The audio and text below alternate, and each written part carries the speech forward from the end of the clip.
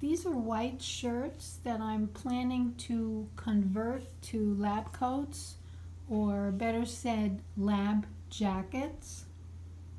Because in case I get a nursing jobs job one let me say that again. In case I get a nursing job I need to be prepared. Nurses have to carry lots of things in their pockets.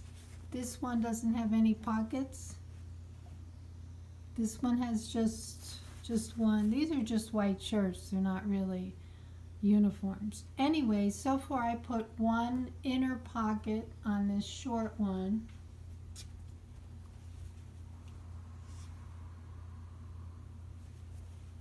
And I really need pockets on the outside also of both of these shirts.